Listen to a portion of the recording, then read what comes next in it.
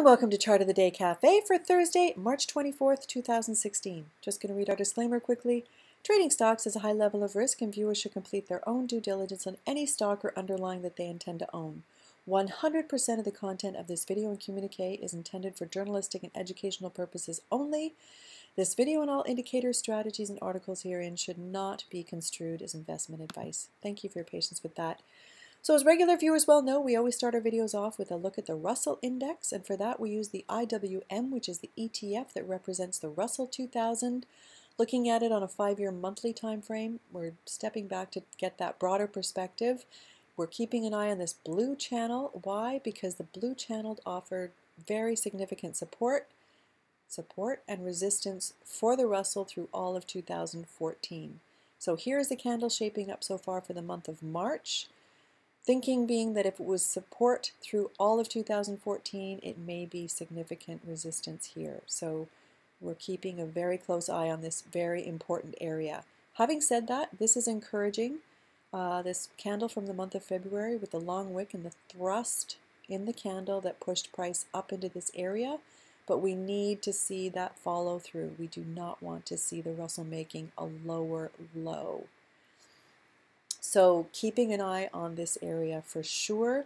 There are a couple of headwinds to this market that I want to, uh, or charts I should say, that are very important to me that I want to show you in a minute, but wanted to say that uh, the markets are closed tomorrow. It's uh, Good Friday, so the markets will be closed. We had a couple of important numbers come out this morning. I'm filming this at about quarter to nine. At 8.30 we had a durable goods report come out that I think was a bit of a disappointing report to the markets.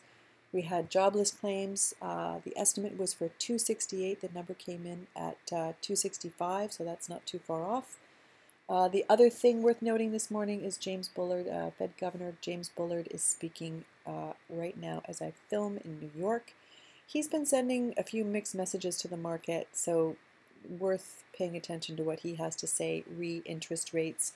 And he seems to be chiming in on perhaps a rate increase being likely in the month of April.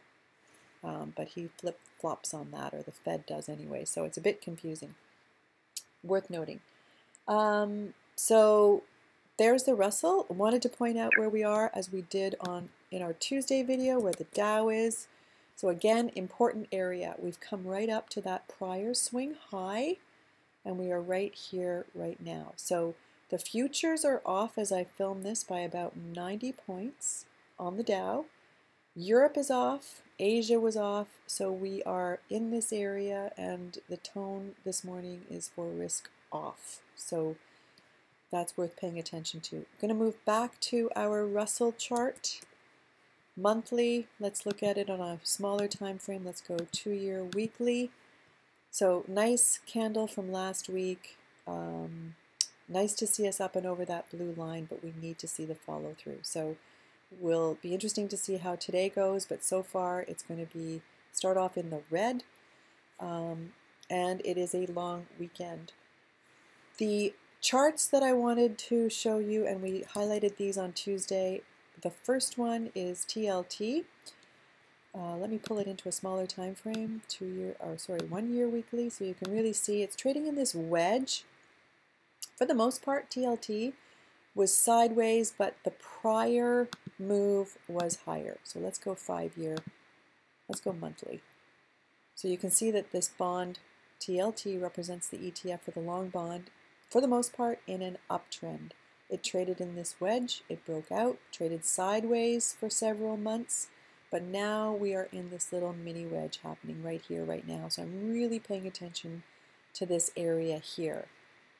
I just wanted you to see that, that for the most part it's in an uptrend. So should the uptrend continue, it might make sense that it resumes in this area here. So I'm going to move it away from the bigger time frame to the smaller one, one year weekly, and show you the wedge and show you the bullish candle from last week and the start of a breakout here this week. So should this be the beginning of uh, resumption of the uptrend in TLT, typically that does not bode well for the market overall because it's a risk-off instrument. The other one I wanted to show you is the US dollar, and this is the most important chart to me right now. Again, I'm going to pull it back to the longer time frame. I want to show you that the US dollar, as we all well know, started to move up and out of this great big wedge, long-term wedge, in the middle of 2014. And wow, look at the move in the dollar. Huge move. Very disruptive to uh, global markets, especially the emerging markets. So moved out of this wedge. We're looking at it on a five-year monthly. Created this other wedge, broke out of that other wedge, and this is where we are right here, right now. So it's forming another wedge right here. So my concern is that if the dollar continues to strengthen here, the US dollar, and move out of this wedge, that it might pose problems for the global markets, uh, in particular the emerging markets.